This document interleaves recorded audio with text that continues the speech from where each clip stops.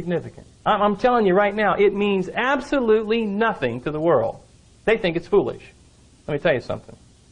When nine-year-old Clay Payne got saved at that camp in June, the world never saw any of it.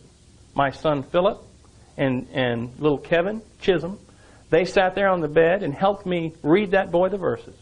They saw it. But most of all, we know that that boy was transferred. He was put from being alienated. He was taken from being a completely helpless, lost sinner who did not know how to get to heaven to being put into the body of Christ. Now that is powerful. And 150 million years into eternity, I'm going to get a fellowship with little Clay. Not because of what I did, but because of God's Word and its availability to me and to those children, that boy could hear the words, just like I heard them when I was six. Paul says to have your feet shod with the preparation of the gospel of peace, nothing will bring peace to a person like the gospel of grace. It's great, isn't it? We're wealthy in Christ, aren't we? We have it all. So when you get down about your bills and all the things that you want you can't have, you think about the money you owe, the hole you've dug, and all the other things. You think about all you have in Christ. And it'll let you, it'll let you very quickly let go of all those things. One of the great philanthropists, I think it was uh, one of the Rockefellers, the old one, the old man, old man Rockefeller, John D., I think, he said that he would give his entire fortune for the love of a good woman. When, you, when you're worth millions and millions of dollars, you just never know when somebody loves you, whether they love your money or you. Your friends, everything is always suspect. You have to guard it. Try to keep it. Wouldn't that be a burden? I mean, I know what people say. I, I have a friend of mine, he says, I, I've been rich, I've been poor, I like rich better. Well, all right, everybody likes to have, everybody likes to abound. No doubt. But let me tell you something. When you begin to learn this right here, this will get you through a prison cell right here. This will get you through a funeral, the loss of your husband and wife, your child. This will get you through life. The money comes, it goes. This will get you through because it's eternal. Okay, let's have a word of prayer and we'll close. Heavenly Father, we thank you tonight for your goodness and we thank you for the patience of these folks here tonight as we study the Word of God together. We thank you for the opportunity to come here and to fellowship with them and to, to spend the time getting to know them. We thank you, Lord, for this. We thank you for the great ministry that's going on here. We thank you for the, the opportunity that this church has in this area to be a beacon and to hold forth the word of life to the people in this area that they may get saved and established in the faith.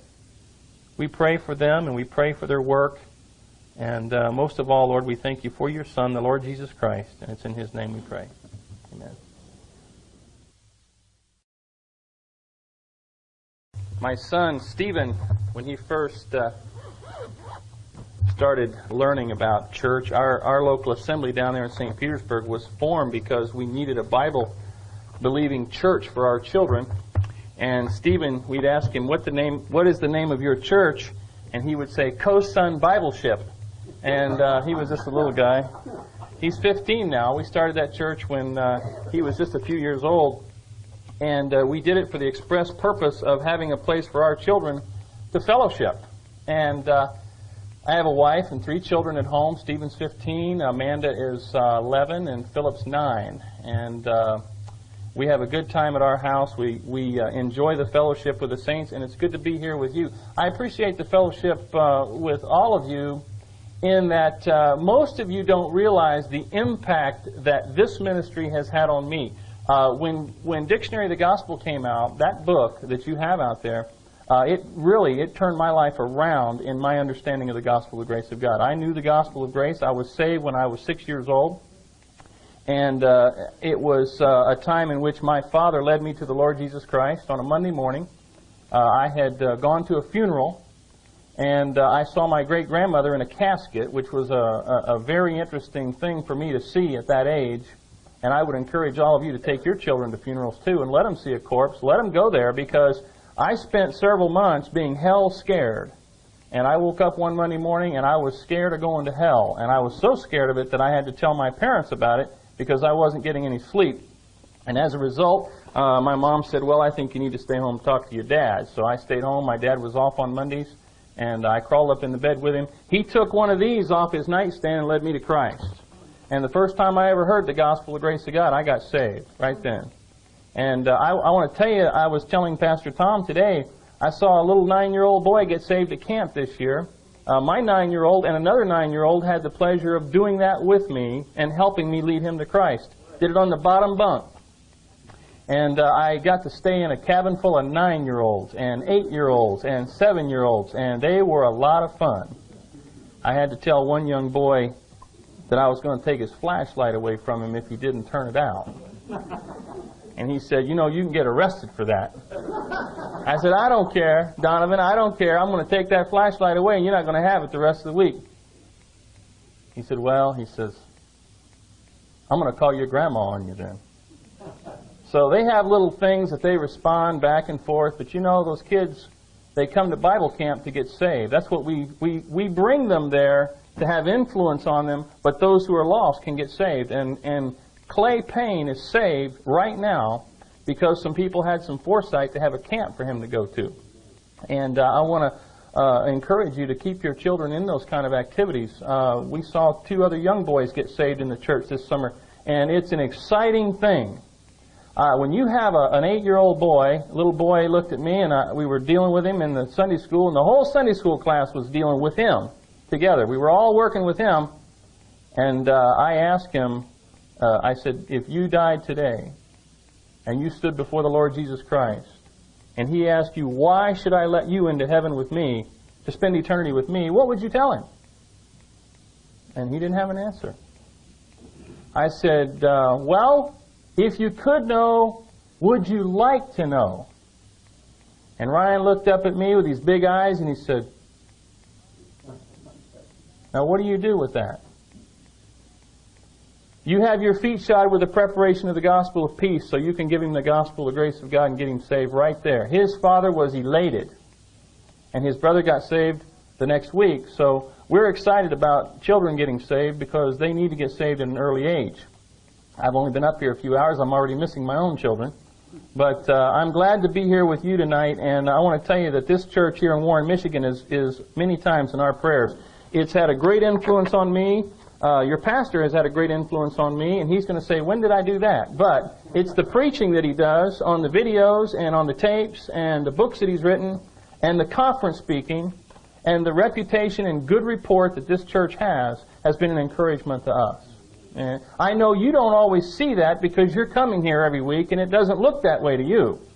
Maybe not, at least from the inside.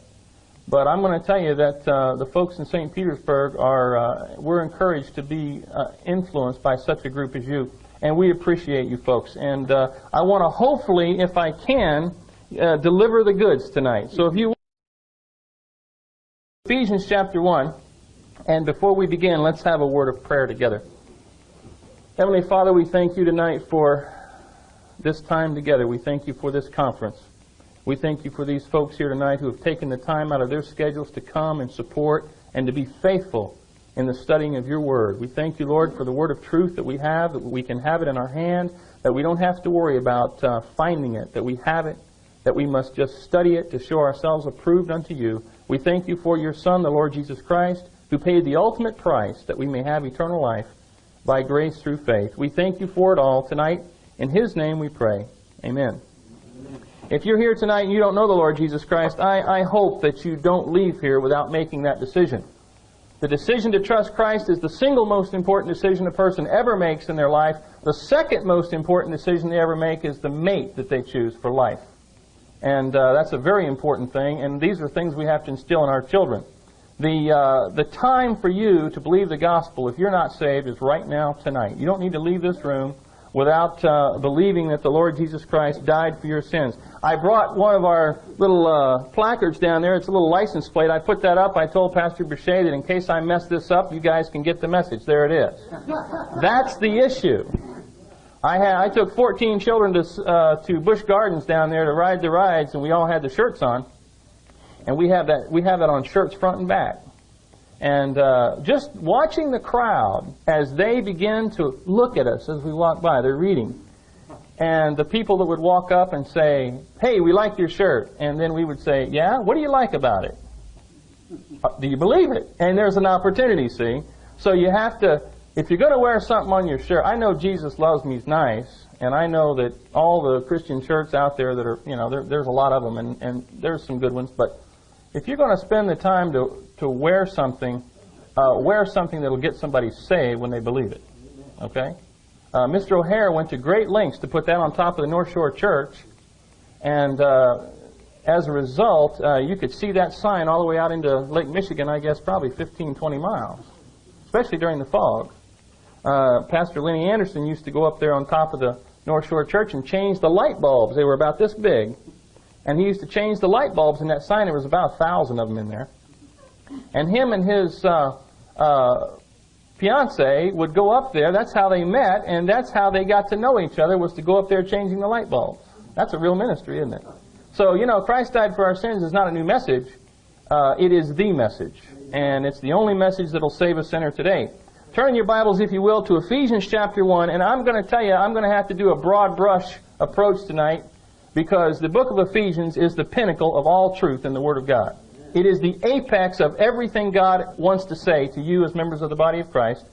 And it's going to be difficult in, in the period of time we have, just in these few nights that we have, to even come close to scratching the surface. So I, I, I hope that you'll be patient with me. We're going to breeze through this fairly quickly, and if, if you have any questions, I'd be glad to help you with, with that afterwards too. I want to talk to you about our wealth in the Lord Jesus Christ. The wealth that you have. Did you know that Bill Gates. Have you ever heard of Bill Gates? Everybody knows who Bill Gates is. Bill Gates is worth $90 billion on paper. His assets are worth 90 billion. That puts him as the richest man in the world. Now let me put that in perspective so you get an understand you get an understanding of just how rich you're not, okay? Bill Gates could give every man, woman, and child in the United States $100,000 apiece and it still wouldn't deplete his fortune. That's a lot of money. I don't know if you can comprehend 90 billion of anything. But if Bill Gates doesn't get saved and he goes to hell, he's going to comprehend 90 billion and it'll be in years, it won't be in dollars. Now, Bill Gates is supposed to be the richest man in the world. I'm going to tell you tonight that he's not the richest man in the world. And what you have in the Lord Jesus Christ is far greater than anything money could ever possibly buy when people stand before the Lord Jesus Christ, they're not going to stand there with their pocketbooks and their checkbooks and their cards and all the other things that they use. They're going to stand there naked before Him and He is going to deal with them. And you can meet the Lord Jesus Christ now at Calvary or you can meet Him there. Either way. But the way to meet Him is now, today. Paul says, Behold, now is the accepted time, and now's the time you want to meet Him. Now, Paul spends this time in Ephesians as he writes, turn to chapter 1, and there are six things that we're going to look at in chapter 1. In 12 verses, we're going to look at six things.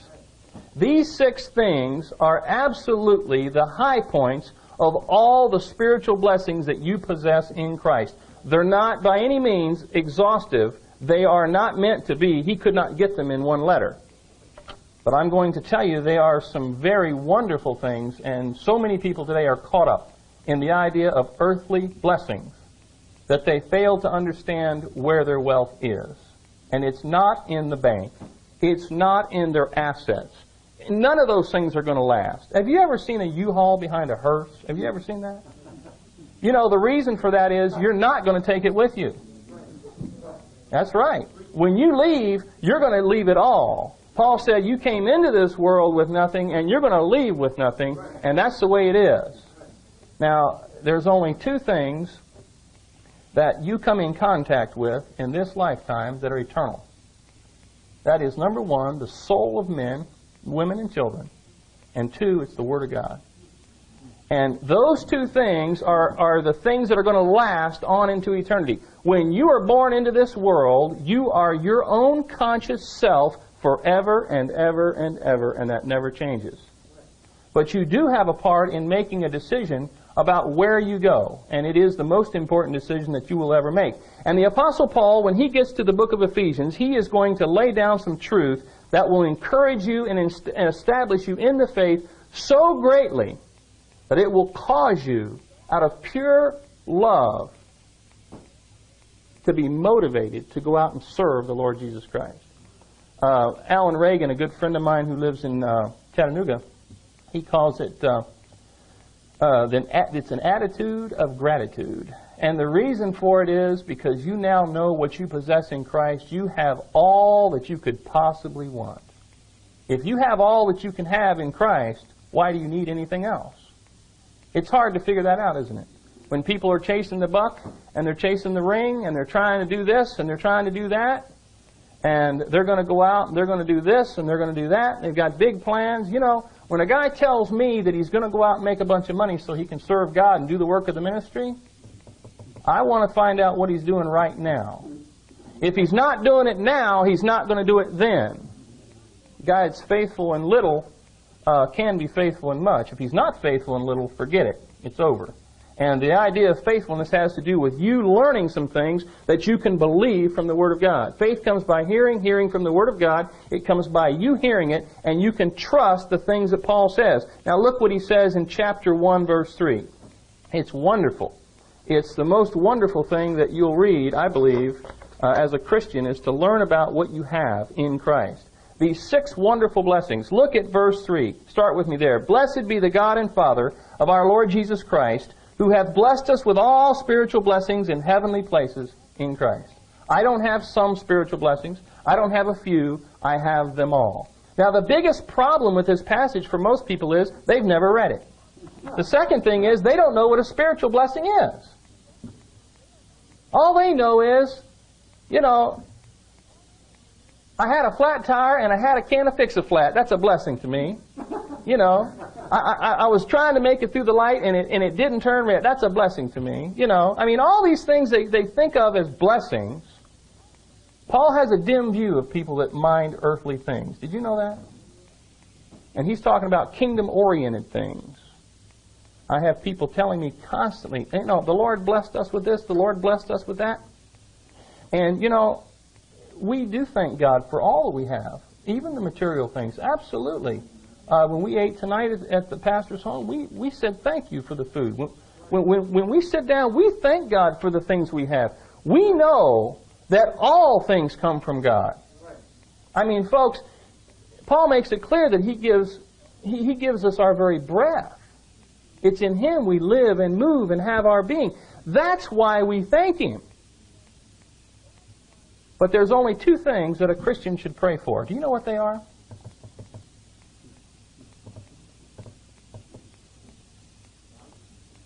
You should pray the way Paul prays.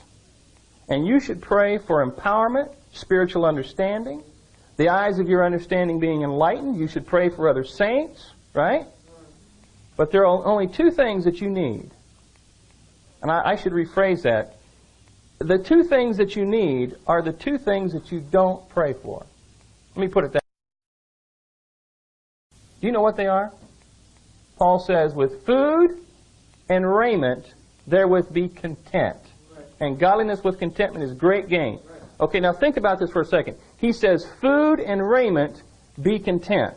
Now, how does he tell you to get your food? What does he tell them? If any man does not work, he shall not eat. In Acts 20, he says that I coveted no man's gold or silver or apparel. How did Paul get his apparel? He bought it. Do you know what you do when you need food?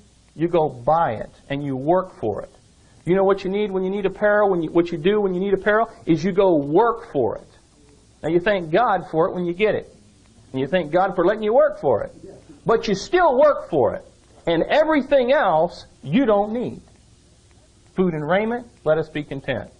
So when you drive that AC car, remember, there's people walking. When you live in that AC house, there's people living in tents. There's people living under bridges. Okay? All that you have beyond food and raiment is icing on the cake. Remember that. Because you're going to leave every bit of it. Every bit of it. Eternal things are important. Things that are temporal, see, and things that are eternal. And Paul here is going to share with you some things that are eternal. He's going to share some blessings with you that are so important to you that he spends probably, and I'm going to say that in these 12 verses, you're going to see the longest outflowing of praise in all of his epistles.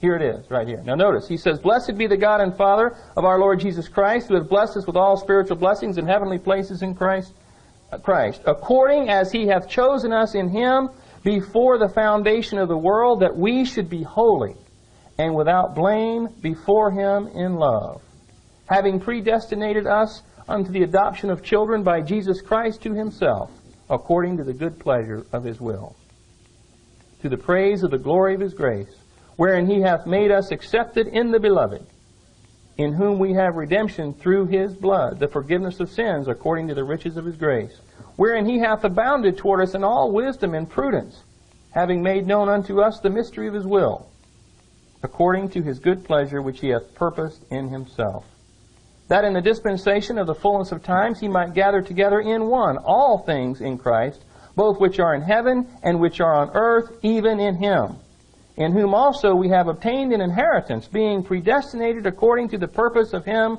who worketh all things after the counsel of his own will, that we should be to the praise of his glory, who first trusted in Christ. Wow.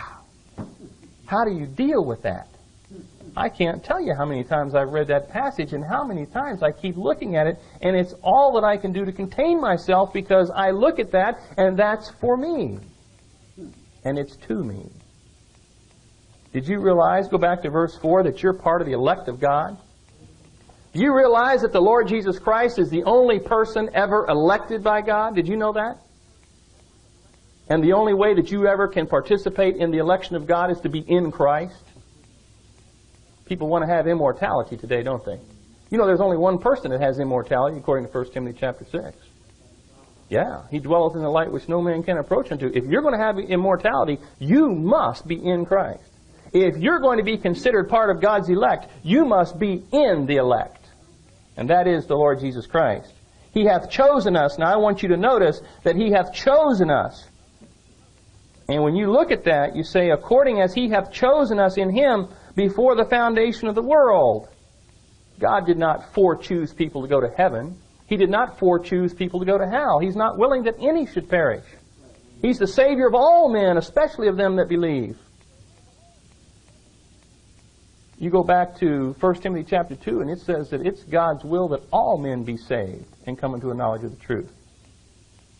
But Paul just mentioned this in 1 Thessalonians. He says, Knowing therefore, brethren, your election of God, don't forget it. You're part of the elect. You weren't chosen to go to heaven. You weren't chosen to go to hell. But God has a purpose in choosing you because He chose you in Him. Remember that. The choosing takes place in Christ. Now, predestination, the doctrine, begins to teach us a little bit more about how God brings to pass His purpose in election and how he brings it about by predetermining. When I got on the airline this morning, there was a predetermined flight. It was a predetermined number, predetermined uh, predetermined destination, a predetermined pilot. Everything was predetermined. All I had to do was participate in that. Now, what God predestinated, if you'll notice in verse 5, well, let me read verse 4 that according as he hath chosen us in him before the foundation of the world, that we should be holy, not because we were holy, but to be holy. And he says, and without blame before him in love. I don't know about you, but I love that statement.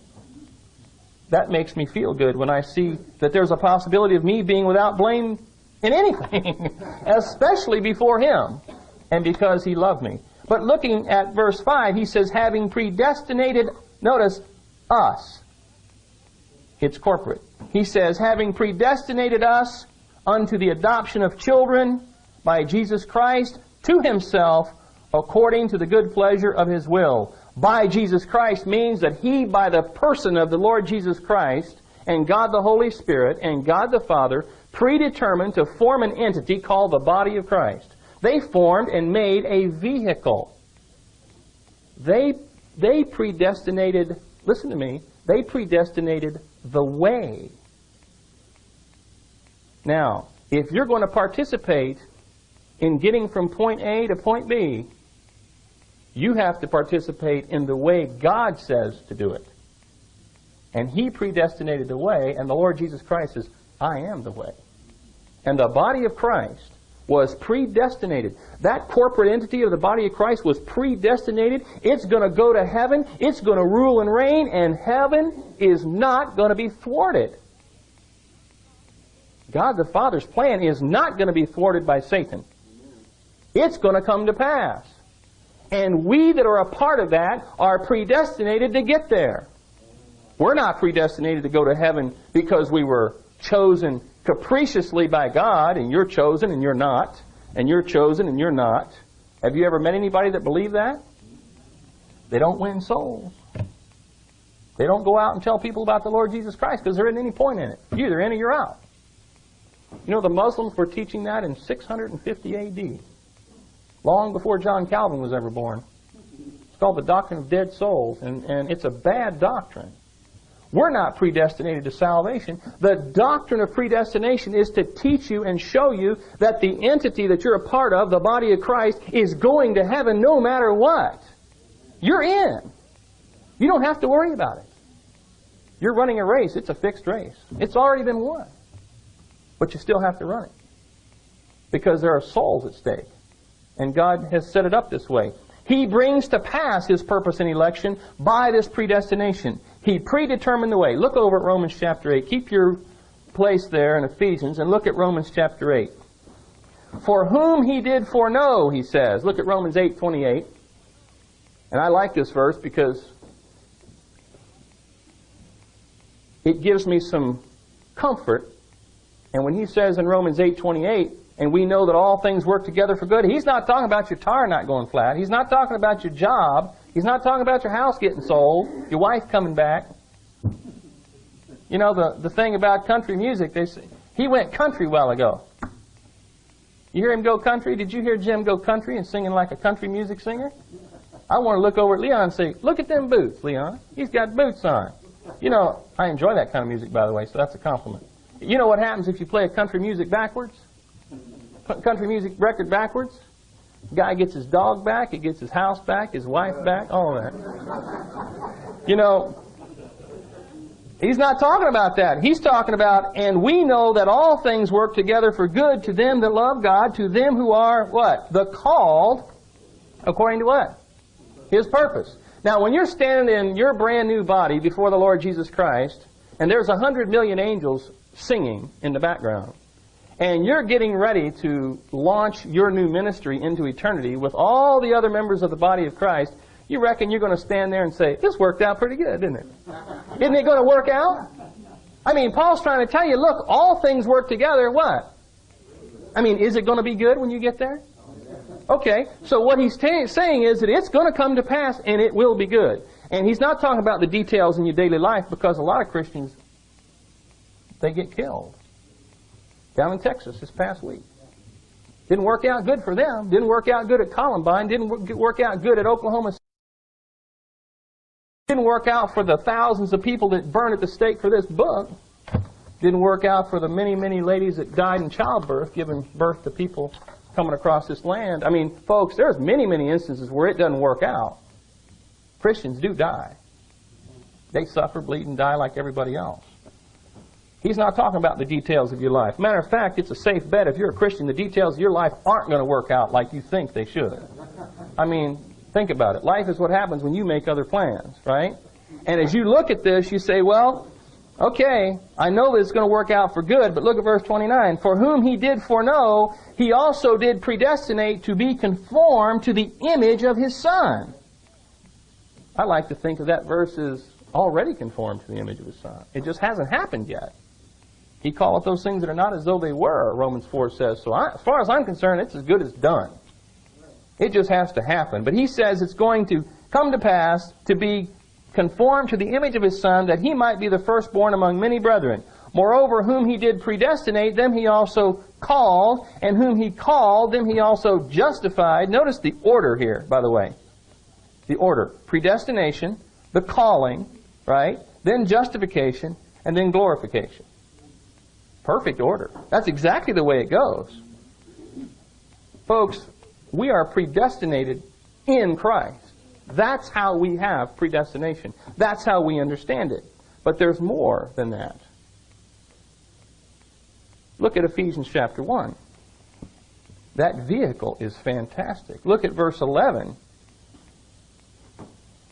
Ephesians 1:11 says, "In whom also we have obtained an inheritance, being predestinated according to the purpose of him who worketh all things after the counsel of his own will."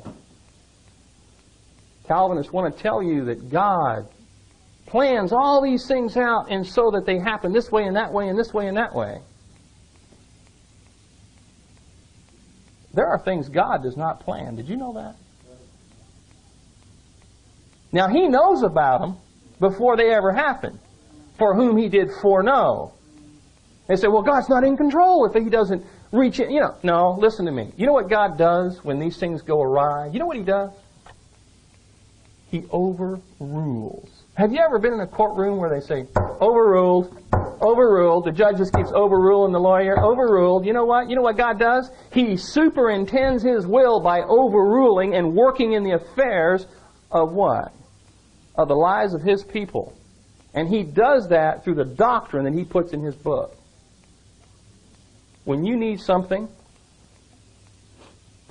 and you've got a, a need, let's say you have a need.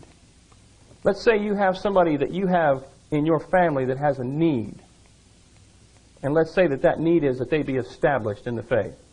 That they're flipping and flying and going all over the place and won't, won't get involved in the work of the ministry, won't be faithful to the work of the ministry. They're not leading people to Christ. They're not doing what they ought to be doing. They're out living for themselves, living unto themselves, as Paul says. When you pray for that person, can you expect results? Yeah you better expect results because I'm going to tell you something. In the body of Christ, prayer changes things. And God works through the lives of the believers. And it's wonderful to see it. It's fantastic. And that's why prayer, it avails much, even in the dispensation of grace. And I know people are all upset about, well, you can't pray for that. If you can't pray for money, what can you pray for? No. Well, hey, pray that this man be established. Pray that this man grows up and begins to learn what it means to be a man of God instead of a baby. You know, there's a lot of babies out there. Mr. O'Hair used to call them ball-headed babies. And the reason for that is that they get later on in life where they begin to lose their hair and go bald and they still don't know any more than the children down in the kindergarten do. Denominationalism is full of those people. Yeah, they're saved, satisfied, and sitting, and every time they look at this book, they go, Where'd that come from? I never saw that verse before. Because they're not reading their Bibles. And the reason they're not reading their Bibles is because Satan took it away from them about 100 years ago, and they haven't been seeing it since. It's a problem. I thank God the book that I have in my hand I consider to be the word of truth right here. I would not deal with people that are lost in the rescue mission, in the prison, in the school system, Anywhere that I go, I would not deal with lost people if I thought there was a chance there was a mistake in my Bible. Because with my luck, it'd be the verse that I believed got, that I got saved with that was wrong. Right? Yeah, well, it's true. All things are going to work out, and He's going to bring them to pass, but He's going to do it by overruling. And that's part of predestination, how it works. What about the next one? The third one is redemption. We have obtained freedom through payment of a price. This is not just, uh, you know, God paying the devil some sort of ransom money. That's not what this is. This is this is freedom from sin and from the tyranny and the slavery of sin. We have redemption. Look at verse 7. In whom we have redemption through his blood, the forgiveness of sins according to the riches of his grace. Do you realize that that truth is only spoken three places in Paul's epistles? First time anybody ever asked me that question, I flunked it. I did not know where they were. Romans 3.25 is one. Ephesians 1.7, Colossians 1.14. That's the only three places you're going to find redemption by blood. And I'm going to tell you, it's important that you know that because without the blood, there is no remission of sin. That's why that little square down there is in red, not in green. We want it to be clear. what color red do you want on that? Blood red. We want it red. We want it red, red because the life of the flesh is in the blood. And if you drain all yours out, you'll die. If you try to offer yours, it, God won't take it. It's no good. However, the Lord Jesus Christ gave His blood, and it's through faith in His blood that we have eternal life. And we have redemption through His blood. It was a very costly payment. Peter calls it the precious blood. Unto him, he says in the book of Revelation, he says, Unto him who washed us from our sins in his own blood, he says. He gave his blood for me. Full payment. We're bought and paid for. Uh, Mr. O'Hair uses a uh, illustration I like very much, and I've never forgotten this. Tom and I were talking today about him and his tapes. There was a, a, a man down in New Orleans, and he had bought a young boy in a slave market. And he took the young boy home and cleaned him up and sat him at his table, gave him some new clothes, him down at the table, and they were eating. And the man was sitting there discussing with one of his other uh, associates and one of his servants that they were packing up and getting ready to move back to England. They were going to leave. And he noticed that the young slave boy was a little bit upset. He was uh, a little bit disconcerted and looked sad. And uh, he asked the boy, he said, What's the problem, son? And he said, Well, he says, My family lives here. All my people live here. And he said, um, I, I don't want to leave them. I don't want to go to England. And he looked at him, he says, I'm, I'm afraid you've misunderstood, son. I bought you today. And since I bought you, I can do anything I choose. And I choose to set you free. You don't have to go to England with me. You know what the boy did? He says, in that case, pack me up because I'm going to go with you. You know what? Grace motivates you, doesn't it? Grace motivates a person that's been bought and paid for. When you know you're not your own, you're bought with a price, you're redeemed. Now, not only do we have redemption, we also have the forgiveness of sins. It's a wonderful thing, isn't it? Look at the next one. We have revelation. Look at verse 8. Uh, wherein he hath abounded toward us in all wisdom and prudence. Now, today, in the dispensation of grace, we don't literally get revelation from God. That came from God by inspiration to the Apostle Paul. That's where the revelation came. That's where you get the information comes from God to man. However, by reading what Paul wrote by inspiration, we get the revelation ourselves. We call it illumination today. The Holy Spirit Himself lives in us. He teaches us the doctrines of this book. We have been made uh, privy to all that God wants us to know. There's nothing left for God to tell you that's not already written down. Have you ever heard the TV preachers, they're trying to tell you something that God told them? God told me to build a hospital. Got to raise a million dollars, or I'm going to die. Let's say you've been healing people since 1955 on TV, and now you got to build a hospital. Yeah, that makes sense, doesn't it? Got glasses on, you know, fillings in his head, hair's falling out. He needs a hospital. Yeah, he needs more than that. He needs a he needs a Berean Bible teacher to teach him the Word of God rightly divided, doesn't he? Well, so much for filthy lucre and all the money that's made off the flock. The flock's being fleeced every day. Paul says to the Corinthians, You suffer fools gladly. you deserve it, most of them. So the idea is that as you look at this, you get illumination, but you don't get new revelation. Anytime somebody tells you God said to this, to me, you quote him Romans 3 4. Yea, let God be true and every man a liar. Because you're not getting revelation from God today that way, not direct. You say, well, could you please write that down for me? I'd like to put that in my Bible to make sure I've got a copy of it. If you know your Bible well enough, and a man quotes those sort of things to you, you just find that in the Bible and show it to him. Because whatever he says is already there, some way, shape, or form. But they've got all kinds of ideas on how to control people. And it's uh, pseudo-intellectualism, really, is what it is. They want to speak in a different language. They want to have something you don't have. They want to be the Pope and give it to you a little bit at a time so they can put their thumb down and control you. You don't have to live that way. Under grace, you have the ability to have a book and go in and find from God the things He has for you. It's all free. It's right here. You can buy these for a dollar. You can buy them for nine dollars at Sam's. I know that's where you guys probably get your buy. I see them back there. I buy those things and for nine bucks. See, it's not only inspired, it's not only preserved, it's affordable too. It's everywhere. Anywhere you want to go, you can find the Word of God. We give them out free of charge so people have a Bible. Inheritance is all that God is free to give you because of what He did through Christ. He gives you eternal life. That's pretty good, isn't it? A new glorified body. Can you imagine no sin? Can you comprehend that? It's hard for me to comprehend it. A presence with the Lord Jesus Christ. We know that while we're present in this body, we are absent from the Lord Jesus Christ. Therefore, we look forward to being in His presence someday. Joy unspeakable, just the thought of it. The position that we're going to have, the power that we're going to have, the authority that we're going to have, the love and everlasting fellowship. And on top of it all, there's going to be rewards too. On top of that, we have an inheritance. Look at Romans chapter 8 once again. We keep going to Romans 8, there's so much over there. Romans and Ephesians are like that, aren't they? They're kind of like the book of Genesis. They're Paul's two books of Genesis, really, because the beginnings are all there. Look at Romans chapter 8, look at verse 14. For as many as are led by the Spirit of God, they are the sons of God.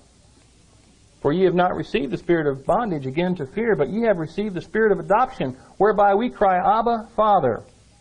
The Spirit itself beareth witness with our spirit that we are the children of God. And if children, then heirs, heirs of God, and joint heirs with Christ. If so be that we suffer with him, that we may also be also glorified together. An heir is not the same as a joint heir. A joint heir has a has a hook in it. You know what the hook is? The hook is you're going to have to suffer. Joint heir means you're going to reign. There's a difference between living. It's a faithful saying, if we be dead with him, we will live with him. No doubt. He's not going to die himself. He, he can't deny you eternal life. But if you suffer with him and you preach the truth and you teach it and you live like you should and preach the doctrines of grace and you renounce the hidden things of dishonesty, not handling the word of God deceitfully, but, but doing and commending yourself before other people in the sight of God, and you live the kind of life that God has made you to live, you know what happens? You're going to suffer. All who live godly in Christ Jesus suffer. All. That's right. And as you begin to suffer, you're going to realize, hey, this is no picnic. Your family, they'll get on your case. Start giving it to them. Boy, they don't want to hear it. Your employer, they don't want to hear it. Even the people in your congregation, they don't want to hear it. We have an advantage there because we have a rule. It's like Brother Clyde said, you know, you come and you listen as long as you want and you can leave. We're going to come and preach as long as we want and we're going to leave. See? The idea is that people need to understand that suffering is a part of the Christian life. See, we're not delivered from suffering. We're delivered through suffering. There's a difference. It's His suffering. And through that suffering, we understand that there's going to be problems. But I'm going to tell you there's a bigger payoff for you in the end. Eternal glory is a fantastic thing. When, it, when General Colin Powell walks up to the podium, you know, they have him come in, and he's got all the decorations on, he's got the outfit on, you know. Is there any doubt what this gentleman is? Does everybody know what he is? I mean, when Patton wears those stars across his helmet, is there any doubt about what he is? In eternity, do you think there'll be any doubt about what you did and what you taught and what you preached? Believe me, they're not going to have to ask you, were you a grace believer when you were down there? You're going to be known because you're going to be put in a position of power and rank and authority. And it's going to be because you suffered. Even the kingdom program uses that concept. When you're faithful, you get put over how many cities? How many cities? How many cities? Over and over? See? The, the apostles suffered much, didn't they? They got 12 thrones out of it. They argued over who was going to sit where, but still, didn't make any difference. They got it. Look at verse 13. Turn back there if you would. Look at Ephesians chapter 1. Look at verse 13. Some of this is going to have to flow into tomorrow night because I know you folks are going to, it's going to take too long to get through all this tonight, but some of this we'll put in tomorrow night. But I want to show you these six things, and uh, we'll see if we can't get through a little bit of the next part of the last, finish chapter 1 tonight. The idea here in the sixth one, uh, the, the last one, is that we're sealed by the Holy Spirit. Look at this. This is wonderful. Look at verse 13. In whom we have trusted, in whom you also trusted. After that you heard the word of truth, the gospel. Notice how Paul makes it personal. What does he call it? The gospel of your salvation. I love that. In whom also, after that ye believed, ye were sealed with what? Yeah, you're sealed with that Holy Spirit. When you put money down on a house, do you intend to come back? My wife and I put money down on a house one time, and we fully intended to get the rest of it. We didn't throw that money away. When you put money down on a house, you're going to come back, aren't you? Most of the time, anyway. Well, let me tell you something. The Holy Spirit is the down payment by God that He's going to give you the rest. The seal is the seal of ownership. And it is a seal that everybody is fully aware of. It's also a seal of security that you're safe in Christ. Would it be possible, do you think, for part of the body of Christ to not make it to heaven and go to hell? Do you think there'll be part up there and part down there? Do you think there's anybody that you could ever once in your life call a brother that goes to hell? No brother of mine's ever going to go to hell. So you think about that for a second. You say, well, I'm sealed. The Holy Spirit Himself is the seal. He is the seal of ownership. He is the seal of security. We're God's own. Look at 1 Corinthians chapter 6. Show you a couple passages here that I really enjoy reading. He says in verse 19, 1 Corinthians 6:19, Paul says, "What? Know ye not that your body is the temple of the Holy Ghost, which is in you, which ye have of God, and ye are not your own. Notice this. For ye are bought with a price, therefore glorify God in your body and in your spirit, which are whose? God's. I'll show you one that I like a lot. This is a lot of fun. Look at Acts chapter 27. I like this one because I found it by myself. I don't find much by myself, but I try to use all the help I can get. But this one I thought was so interesting. Look at um, Acts chapter 27 and um, verse 22. This is just a little phrase. It's not, it's not any great uh, doctrinal treatise on the subject, but it's, it's giving you an idea how the apostle thought. And I like that. Verse 22, 27, 22. And now he says, I exhort you to be of good cheer for there shall be no loss of any man's life among you, but of the ship. For there stood by me this night the angel of God. Notice the next three words. Whose I am. Who did Paul know he belonged to? Yeah. He says, and whom I serve. You know he's talking about God there because he wouldn't say, in whom I serve. You know whose he was? He was God's. He was God's man. And you are too. There's ownership. See? Therefore, being justified by faith, we have peace with God. See? The war's over. There is no more enmity because we're justified by faith. Chapter 5 of Romans is a great chapter to read if you doubt whether you're keeping your salvation or not. People don't lose salvation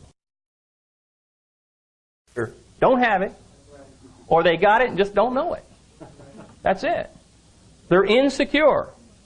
You're sealed by the Holy Spirit. Now, the Holy Spirit's ministry is reaching, it's far reaching because He comforts and guides us, doesn't He? He teaches us, doesn't He? He admonishes us, He reproves us, He rebukes us, He convinces us, He convicts us, He baptizes us into the body of Christ, He encourages us, He intercedes for us, and man, He loves us. People don't think of the Holy Spirit sometimes, I don't think they give Him the, the prominence that He deserves. And I know that when the Spirit speaks, He never speaks of Himself, does He? he always exalts the Lord Jesus Christ. But you know, in the dispensation of grace, it's the Holy Spirit Himself that indwells us so that God the Father can indwell us and so that God the Son can indwell us. Look at Ephesians chapter 2. Do you realize how this happens? I always wondered, how does God the Father live in me? I thought He was up there. How does God the Son live in me? I thought He was up there. Well, he's omnipresent for one thing. and he's omniscient. And he's, and he's omnipotent. But there's a way that he designs this to happen. And all across this globe tonight, folks, there are millions and millions and millions of people that are in the body of Christ, and they all have the Holy Spirit. And notice what he says in verse 21 of chapter 2. He says, In whom all the building fitly framed together groweth into an holy temple in the Lord in whom ye also are builded together, notice, for an habitation of God, how? Through the Spirit. We're sealed by the Holy Spirit. And all of this in just 12 verses of the first chapter. There's a lot more in your spiritual blessings. You have a lot in Christ. Now, I want to share with you just a few more things and then we'll stop. Just a few more uh, I want to talk to you about the rest of chapter 1. Now, the first section of this is where Paul gives praise for our spiritual blessings in Christ. Okay? In chapter 1, verse 15 now, notice in 15, all the way down through 22 or 23, he is going to pray for spiritual perception that we understand. This is where I was talking about a while ago about what you should pray for. Over in Romans, he says, we, we know not what to pray for as we ought. But by the time you get to Ephesians, you're learning how to pray. You're beginning to understand, see? And you begin to focus your pray, and you, when you pray, you pray with the understanding. You pray with some things in your heart that teach you that, well, I don't have to pray. I don't have to pray for that anymore. It's not necessary. Would you ever pray for somebody to be saved? I, you know, I think about that. People say, well, pray that he'll get saved. I don't pray for anybody to get saved. It wouldn't do any good. You don't pray for people to get saved. People have to believe the gospel to get saved. If I thought I could pray them into heaven, I'd be praying 24 hours a day. You don't pray for people to get saved. But when people are going out to talk to people that they want to get saved, I pray for them. That they would be bold, that they would have clearness of thought, that they would take time in preparing themselves, that they would use courtesy and love when they give the God. I mean, multiplicity of things you can pray for those individuals that are going out. But the Lord Jesus Christ never prayed for lost people. Paul never once prays for lost people. Lost people's problems aren't solved by you praying. I teach uh, our people down there, even our little ones, about the sinner's prayer. And I focus on that idea. Uh, our motto there at Suncoast Bible Fellowship is if you lead them to Christ, you lead them in prayer. Don't you dare have somebody repeat a prayer while after you lead them to Christ. You know why we don't do that? Take one guess. Praying, praying is a work. Did you know that? It's a good work. It's a great work. Epaphras, he labored fervently in prayer. Now, when you pray, it's a good work. When you let your request be made known unto God, you are asking God for something, aren't you? That's prayer. So don't tell people, ask Jesus into your heart. It's a work. It's a request. It's a prayer. Don't put a work anywhere in the vicinity of faith. Abraham will teach you that. It's a simple, simple program back there. You can understand that. When you lead somebody to the Lord Jesus Christ, you can certainly pray with them. Lead them in prayer. Let them watch you pray. Teach them to pray. But don't let them sit there and mumble through a prayer and somewhere, somehow, they think, that's what did it. You know, people think that way, don't they? The prayer that Paul prays here is one of the greatest prayers you will ever read about in the Scriptures. Look at verse 15. Wherefore I also, after I heard of your faith in the Lord Jesus and love unto all the saints, cease not to give thanks for you, making mention of you in my prayers. Notice what he says. Verse 17. That the God of our Lord Jesus Christ, the Father of glory, may give unto you the spirit of wisdom and revelation in the knowledge of him, the eyes of your understanding being enlightened, that ye may know what is the hope of his calling and what is the riches of the glory of his inheritance in the saints, and what is the exceeding greatness of his power to usward who believe, according to the working of his mighty power, which he wrought in Christ when he raised him from the dead and set him at his own right hand in the heavenly places, far above all principality and power and might and dominion, and every name that is named. The next time a Jehovah's Witness comes to your door knocking, you show them that verse. They start giving you trouble about the word Jehovah in your Bible. Say, I got a name that's above every name. Here it is, right here. Not only in this world, but also in that which is to come, and hath put all things under his feet, and gave him to be the head over all things to the church, which is his body, the fullness of him that filleth all in all. Woo! Three things there in the last part of chapter 1. He wants you to know what is the hope of your calling the blessed, the glorious blessed hope. He wants you to know what is your inheritance is. What your inheritance is. This wonderful inheritance. Uh, and he wants you to know about God's inheritance. And he wants you to know about the power that you have. Now, the hope of your calling. What is a calling, by the way? When you think of a calling, what do you think of? They always talk about the preacher. Did you get the call?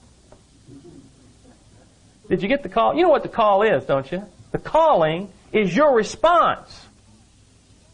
When God calls, you say yes or no. That's right. The calling. Paul said he called me by his grace. What was the first thing Jesus Christ said to Saul of Tarsus on the road to Damascus? Saul, Saul. What was he doing? He's calling him.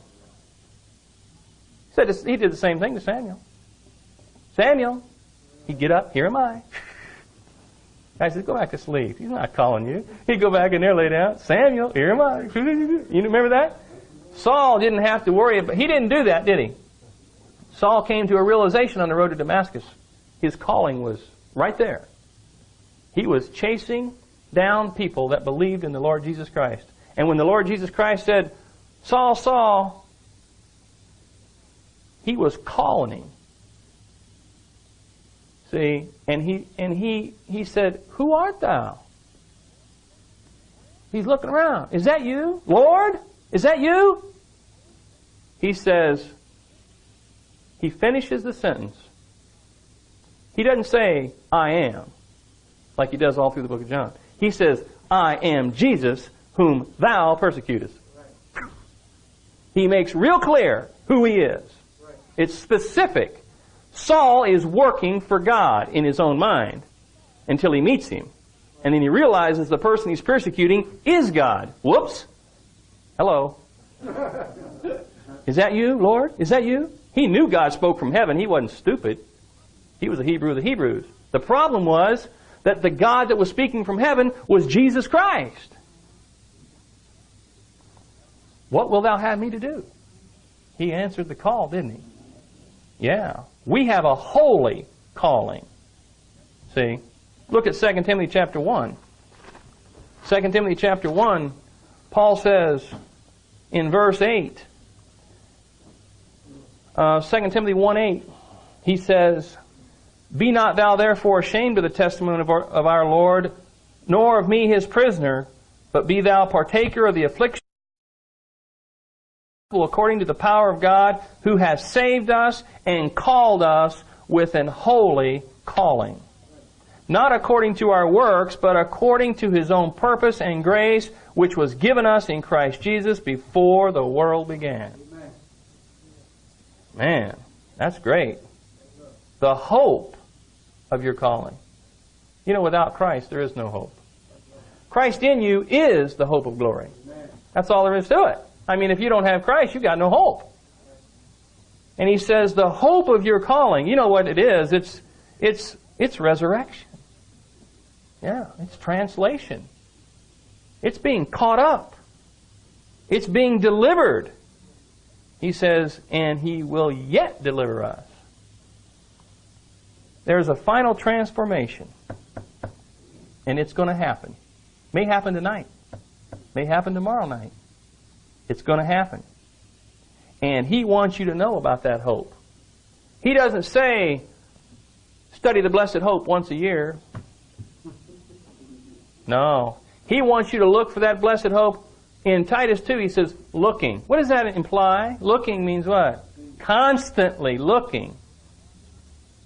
Otis uh, Wasson, the man that uh, Tom was referring to, being a teacher of mine early on when I was first coming into the message and understanding grace truth.